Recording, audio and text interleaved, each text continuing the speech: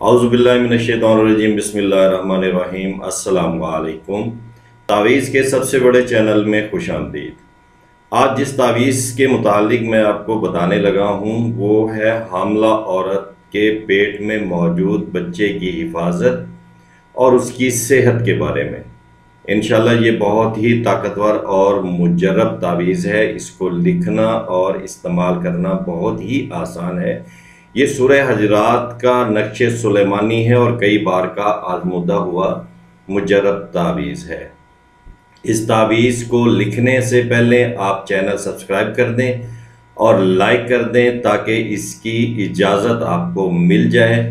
मज़ीद जो है, इजाज़त की ज़रूरत या इंतज़ार की ज़रूरत नहीं है, लेकिन यकीन शर्त है।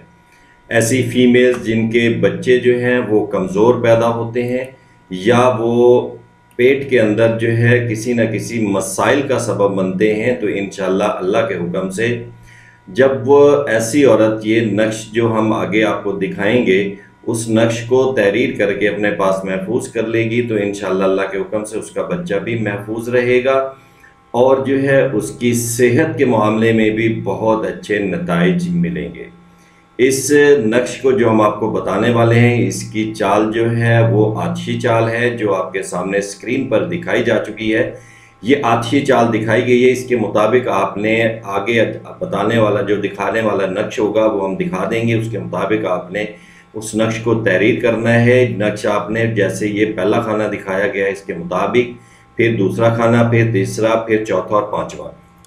इसी गिनती के मुताबिक जैसे हमने ये आछी चाल दिखाई है, इसके मुताबिक आपने अपना नक्श जो है वो तहरीर करना है। तो नक्श को तहरीर करने से पहले आपने साफ़ सुथरे कपड़े पहनने हैं और बावजू होना है। बावजू होने के बाद किसी सफ़ेद कागज़ पर काली स्याही की मदद से आपको जैसे हमने पीछे अच्छी चाल दिखाई है, उसके मुताबिक आपने ये नक्श जो सामने स्क्रीन पर दिखाया गया है इसको तहरीर कर लेना है। तहरीर करने के बाद इस नक्श को आपने मोम जामा करना है और अपने पास जो औरत हमला है, जिसको ये मसाइल हैं बच्चों के लिहाज से तो वो इस नक्श को अपने पास जो है वो महफूज कर ले, गले में डाल ले या बाजू के साथ बाँध ले। तो इन अल्लाह के हुक्म से उसका बच्चा महफूज रहेगा और उसकी पैदाइश के वक्त माशाल्लाह वो बहुत सेहतमंद पैदा होगा। इस नक्श को तहरीर करने और इस्तेमाल करने से पहले अपनी हैसियत के मुताबिक कोई मीठी चीज़ तकसीम कर दें, ताकि इसकी ज़क़़त को अदा किया जा सके और इससे भरपूर जो है वो फ़ायदा उठाया जा सके। जी, अस्सलाम